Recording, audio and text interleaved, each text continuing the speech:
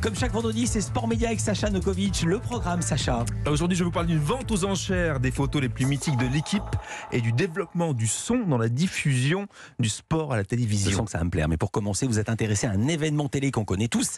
C'est la- l'annonce de la liste des Français sélectionnés pour la Coupe du Monde de foot aux 20h de TF1. Ce sera mercredi prochain. Avec une petite musique qui surgit à chaque grande compétition internationale, pas des plus sexy, mais qu'on commence à connaître. Ousmane Dembélé, Nabil Fekir, Olivier Giroud, Antoine Griezmann, Thomas Lemar, Kylian Mbappé, Florian. Voilà la liste, hein. un événement avec à chaque fois 65 millions de sélectionneurs autoproclamés pour la commenter. Pourtant, mercredi, bah, peu après avant 20h, après 20h, pardon, c'est bien le seul, l'unique Didier Deschamps qui viendra sur le plateau. C'est lui qu'on a entendu. Je dis ça pour qui n'aurait pas reconnu sa voix. C'était lui en C'était 2000. Didier Deschamps. En 2018, avant Ouais. la Russie, exactement. Il sera donc sur le plateau du JT, encore une fois, de Gilles Boulot, pour égrener les noms des joueurs retenus pour le mondial disputé dans deux semaines au Qatar. Et juste avant, bah, seule une dizaine de personnes entre la Fédé de foot et TF1 seront au courant des noms des euros élus. La liste sera inscrite dans le marbre la veille par Deschamps et ses adjoints. Et le jour J, à 18h, c'est l'attaché de presse des Bleus qui apportera une petite clé USB à TF1 qui la transmettra à un graphiste bunkerisé dans une salle pour mettre tout ça en image avant la grande annonce de Dédé. Mais alors, comment ça se passe? Ça s'est pas toujours organisé ainsi, ces annonces de liste? Pas du tout. Pendant des décennies, c'était un petit bout de papier qu'on transmettait à l'AFP et le grand bouleversement. En tout cas, le premier, c'était la Coupe du Monde 98, organisée en France. Bien sûr, vous vous souvenez.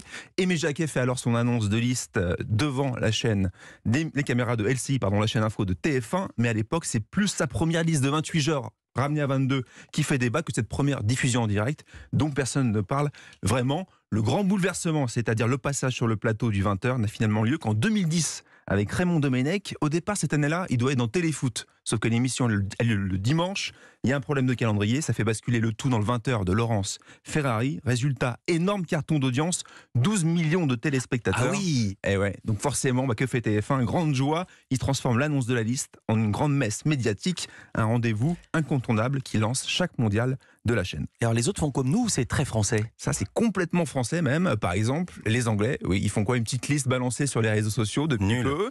Et puis le Brésil, bah, c'est une conférence de presse assez classique. Nul. Voilà, c'est ce qu'on appelle l'exception culturelle française, messieurs. Peut-être que les autres chaînes vont copier s'ils savent que ça fait un carton d'audience, ils vont possible. essayer de faire pareil. On va rester en France avec l'équipe, la Bible du sport, le journal qui vous emploie, je le dis au passage, qui organise une vente aux enchères. Et là, c'est vraiment dit sans ironie de ses plus beaux clichés, clichés de légende du foot. Oui, elle s'appelle Pour l'éternité, cette vente, comme le nom de la une de l'équipe au lendemain du mondial 98, victoire des Bleus bien sûr, et cette une fait évidemment partie des 170 tirages uniques mis en vente mardi à 18h à la maison Milon. Alors je vous ai apporté en studio le catalogue que vous avez en main, euh, Philippe. Il est magnifique, je l'ai feuilleté, il est absolument somptueux. Voilà, on retrouve bah, évidemment les photos collector des légendes du foot, Cruyff, Zidane et les autres. Mais moi j'aime beaucoup celle que je vous ai choisie, celle du jubilé de Platini en 88. Celle du post-it. Voilà, on a quand même sur la même photo Platoche, Pelé et Maradona sur le même cliché, ça c'est assez quand même collector. Non, il y a quand même quelque chose des... qui est collector. Oui, C'est. Maradona, après tous ces problèmes de cocaïne à Naples notamment, il a quand même un maillot marqué No drug, pas de drogue. C'est l'humour de Platoche. Non mais qui me parle En tout cas, si ça vous intéresse, vous pouvez miser, Philippe, euh, déjà sur le site euh, en ligne de Milon. Et on peut même venir visiter l'expo dès demain dans leurs locaux du 9e arrondissement à Paris. Et pour battre le record euh, de la photo la plus vendue, c'est la troisième exposition organisée par euh, l'équipe, la, mise, la vente aux enchères, pardon. C'était une photo de Camille Lacour vendue l'an passé. 16 300 euros. Oui, parce que là, quand on regarde les mises à prix, c'est aux alentours de 500, 800, 1000, 1200 euros. Donc Oui. c'est- c'est abordable. Euh, et vous, Sacha, vous avez retenu une photo très médiatique issue de cette nouvelle vente. Photo que vous nous avez apportée ce matin. On peut la regarder, la voir sur europe1.fr. Qu'est-ce que c'est? Absolument, c'est une photo symbole de la starification des joueurs. On est en 69 à la sortie d'Old Trafford, le stade de Manchester United, avec George Best, la star de l'époque, peut-être la première rockstar, entourée de nu- nuées de journalistes. Alors, il était connu Best autant pour Bah ses oui. performances sur le terrain que pour ses frasques en dehors. Vous connaissez son surnom? Évidemment, le cinquième Beatles. Voilà, ça Il était tout, hein. aussi connu que les Beatles. En tout cas, c'était déjà le roi à l'époque de la punchline dans les médias. Vous en connaissez forcément une. Moi, je vous ai choisi ma préférée. Celle-ci sur sa maison près de la mer. Pour aller à la plage, il fallait passer devant un bar. Je n'ai jamais vu la mer. voilà. Et puis, euh, il y a aussi ce qu'elle J'ai claqué beaucoup d'argent dans l'alcool, les filles et voitures de sport, et le reste, je l'ai gaspillé. C'est pas ça? Non, du tout. Je l'adore. Elle est très, très, très connue.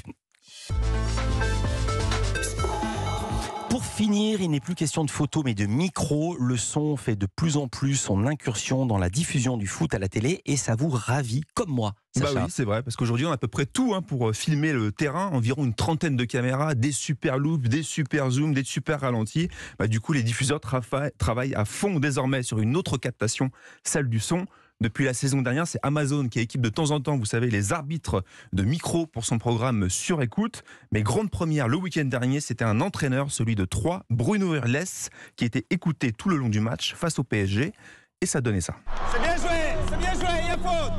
Va demander, va demander. Va avec, va avec, va au bout. Va, Ronny. Excuse-toi, grand. Tu lui mets le coude. Je dis pas que c'est fait exprès, mais tu peux t'excuser. Non, c'est pas fait Voilà. Hein, c'est des séquences plutôt sympas. C'est bien. Pour l'instant, c'est pas diffusé pendant le direct. Voilà, il y a une petite autorisation à avoir des clubs et des arbitres, une sorte de droit de regard, enfin plutôt de, de droit d'écoute.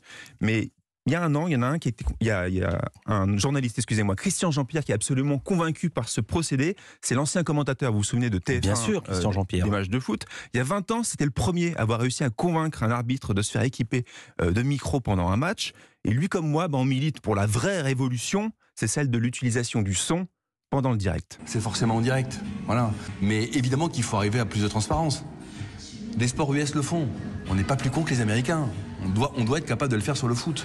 Et surtout, on va changer complètement l'atmosphère sur les terrains. Parce que tout le monde fera gaffe à ce qu'il raconte. Et pour l'éducation, parce que le sport c'est aussi l'éducation. Pour les gamins qui nous regardent à la télévision, ça sera d'autant mieux. Totalement d'accord avec Christian Jean-Pierre et donc d'accord avec vous. Et d'ailleurs, ça se fait au rugby et c'est vraiment absolument parfait Ça et ça bien. évite beaucoup, beaucoup de débordements. Merci beaucoup, Sacha Nokovic. Euh, L'équipe, euh, on peut vous lire. je- qui- Demain, et demain, Mathieu Bonnemer, consultant et directeur sportif à la fois, il nous raconte ses doubles vies. Vous avez répondu à ma question sans même que je la pose. C'est ça un vrai pro. Merci beaucoup, Sacha.